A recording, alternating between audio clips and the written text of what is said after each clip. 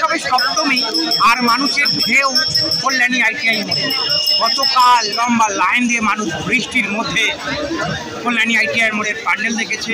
পরশু দিন ছোটোখাটো ঝামেলা হয়েছিল। এই প্যান্ডেল দেখার জন্য এত পরিমাণে ভিড়।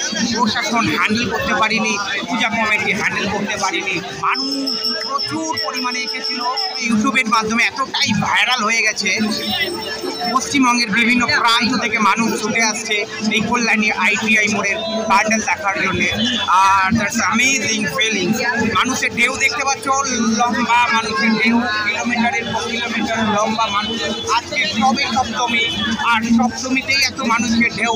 এখনও তিন দিন পুজো বাকি। আর ভাবো কত মানুষ আসতে পারে, লক্ষ লক্ষ মানুষের সমাবেশ এই কল্যাণী আইটিআই মোড়ে। পশ্চিমবঙ্গের বিভিন্ন প্রান্ত থেকে মানুষ ছুটে এসেছে এই কল্যাণী আইটিআই মোড়ে। ঠাকুর দেখার জন্য। কি অপরূপ দৃশ্য।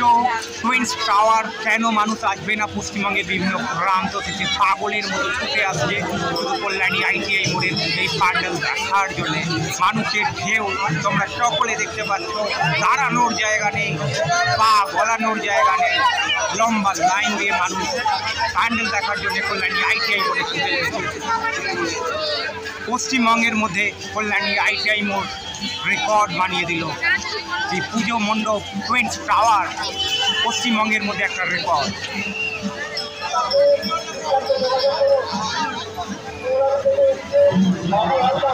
পশ্চিমবঙ্গের চারিদিক থেকে মানুষ ছুটে আসছে, বিভিন্ন বড় বড় ইউটিউবাররা এই প্যান্ডেল দেখার জন্য ছুটে আসছে।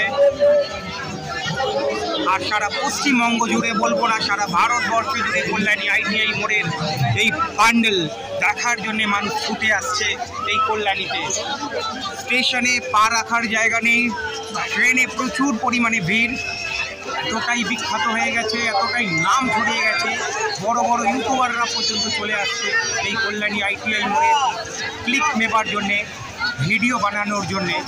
আর মানুষের ঢেউ, তোমরা দেখতেই পাচ্ছ মানুষের ঢেউ, আর আমিও ঢুকে গেছি মানুষের ঢেউয়ের মধ্যে।